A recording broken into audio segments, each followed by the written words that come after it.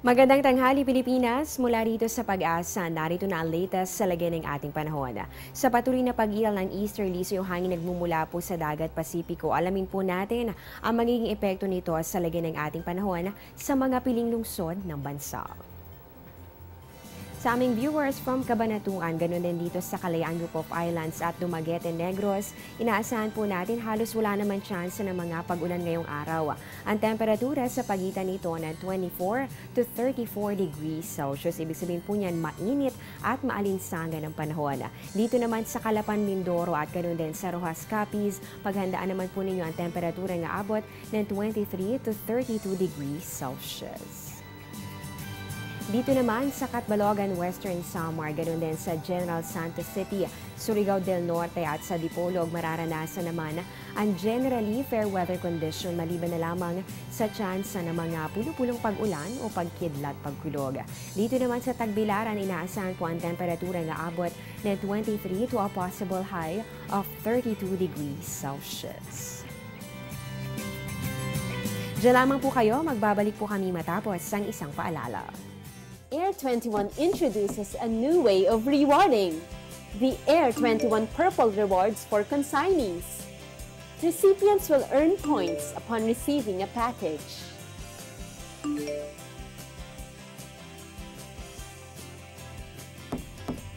These points can be used to redeem exclusive Air 21 gift items such as eco-friendly bags, flashlights, tumblers, organizers, flash drives, and power banks.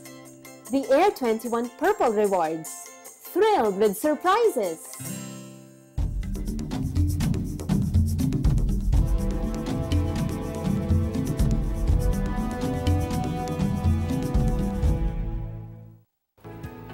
Usapang astronomiya naman tayo, marami sa atin ang astrophile o yung mga taong may kakaibang hilig sa mga bituin. Aba tamang-tama dahil perfect sa mga astronomy enthusiast to. Libre na po ang pagbisita sa planetarium at simula ngayong araw, ilulunsad na ang pinakabagong full dome planetarium projector. Ayon sa National Museum of the Philippines, ang nasabing projector ay ang first in Asia.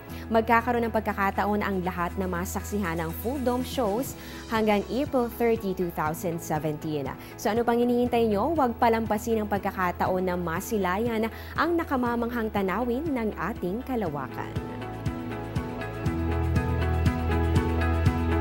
Para naman sa mga malayo sa Metro Manila at wala pang time ngayon para bumiyahe at mabisita ang planetarium na yan. Pwede naman bumisita sa iba pang magagandang lugar dito sa ating bansa. Kaya ngayon silipin natin ang inaasahang lagay ng panahon sa tourist destinations ng bansa. Kung ang punta nyo ay dito sa Bigan, Ilocos, inaasahan ang temperatura nga abot ng 22 to 32 degrees Celsius. Inaasahan din natin dyan ang fair weather condition. Same weather condition naman ang mararanasan dito yan sa Anilao at sa Taal, Batangas. Sa Puerto Galera naman at sa Banawe, paghandaan ng tsansa ng isolated rain showers or thunderstorms. Kung ang destinasyon naman ay dito sa Naga City, inaasahan po natin ang 24 to 30 degrees Celsius at may chances din na mga pulupulong pag-ulan o pagkidlat pagkulog.